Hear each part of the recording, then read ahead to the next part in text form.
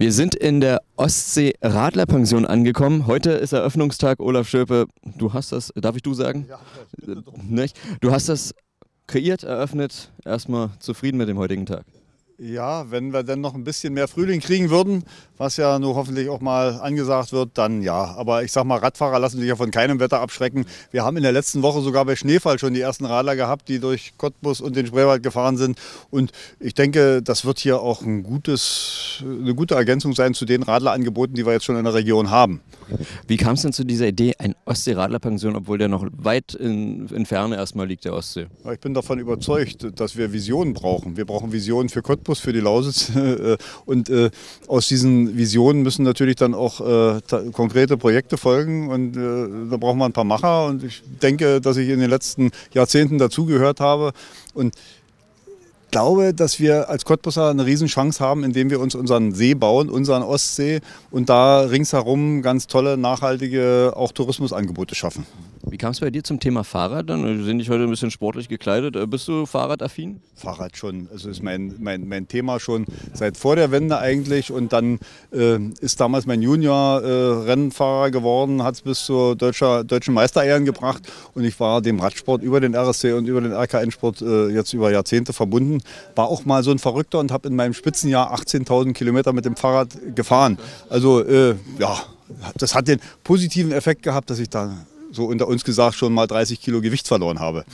Und dich jetzt auch äh, angespornt hat, hier wirklich eine Radlerpension mal aufzumachen, oder? Klar, über den, auf den Radtourismus haben wir ja seit Jahren gesetzt und wir haben ja auch mit dem Radreisepartner Spreewald und Lausitz äh, eine richtige professionelle Firma. Also wir sind Radreiseveranstalter und betreuen im Jahr auch so 3.000 bis 5.000 Radfahrer hier in der, in der Lausitz und äh, da ist so ein Angebot hier natürlich äh, top und wir haben ja vor der Haustür drei, vier überregionale Radwege, die vorbeiführen.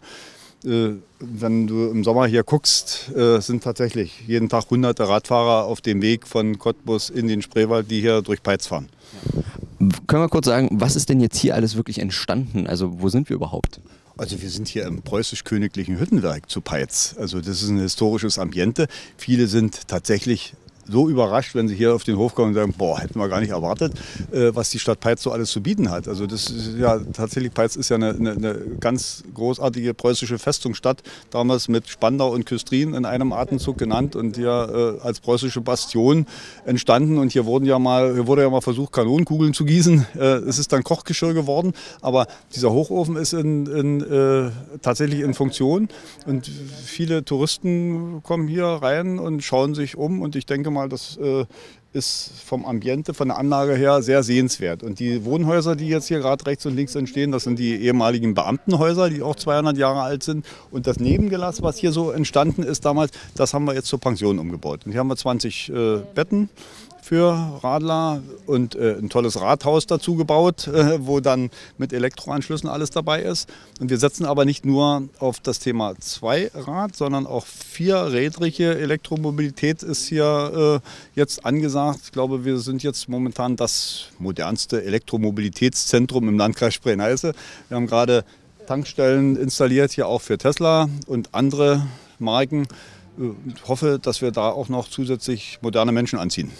Noch ein bisschen zum Prinzip. Ähm, wir sehen hier sozusagen hinter den äh, Scheunentoren, kann man ja schon fast sagen, äh, verbergen sich die Zimmer. Ähm, in welchem Stil habt ihr die so eingerichtet? Na, die sollen natürlich radlergerecht sein. Also wer reinschaut, vielleicht könnt ihr mal einen Blick dann auch äh, mit der Kamera reinwerfen. Also das Thema Fahrrad spiegelt sich wieder. Von der Lampe bis zum Bett haben wir da natürlich äh, alles äh, dem Thema untergeordnet.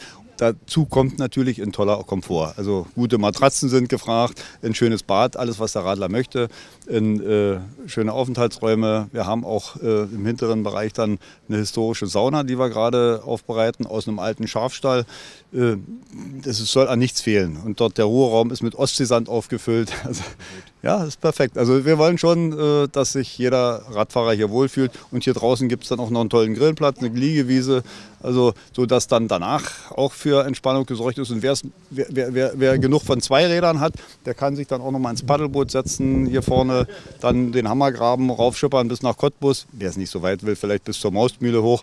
Also ich denke, das ist schon rundum gelungenes Angebot. Vielleicht noch kurz äh, ins Empfangsgebäude, sage ich mal, geschaut, auch mit, ähm, mit Sitzmöglichkeiten, Küche, glaube ich, so ein bisschen bisschen, ähm, wie wird das verpflegungstechnisch aussehen? Ich meine, wir haben ja rechts auch äh, direkt die Karpfenzucht. Ne? Ja, also erstmal haben wir ja mit Schillebold hier auch eine, äh, ein Restaurant gleich mit auf dem Hof. Äh, wir bieten aber auch an hier Grillplatz. Wer sich selbst versorgen will, kann hier natürlich auch eine Grillparty feiern. Wir haben im Frühstücksraum auch die Möglichkeit, dass man sich abends da mit Gesellschaft spielen und kann toll Fernsehen gucken. Zu Fußball-WM haben wir schon vorgesorgt, haben einen großen Flat an die Wand gehangen. Also äh, ich denke, für alles ist gesorgt. Gutes Bier, guten Wein, Bio-Wein natürlich, alles da. Jetzt kann man sich ja nur noch einen super Frühling, einen super Sommer wünschen. Ja, das ist das, wo wir jetzt noch ein paar Gebete Richtung Himmel schicken müssen, aber da sind wir optimistisch. Nach so langem Winter muss auch ein schöner Frühling jetzt und ein Sommer kommen. Ne? Ab morgen dann. Ab morgen, machen wir ab morgen. Perfekt. Ich danke dir. Viel Erfolg, du. Danke. Dankeschön.